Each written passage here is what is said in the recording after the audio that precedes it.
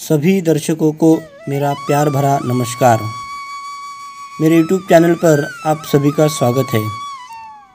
आज मेरे छठी कक्षा के छात्र आपके सामने बसंती हवा, ये कविता प्रस्तुत करने वाले हैं।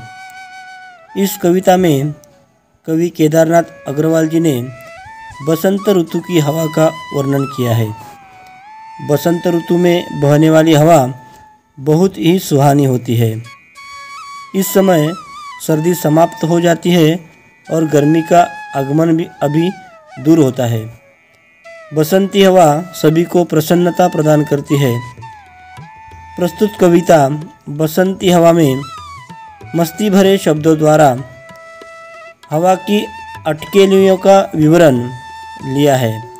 तो ऐसी प्यारी कविता, बसंती हवा मेरे छठी कक्षा के छात्रों के साथ सुनो और दोहराओ।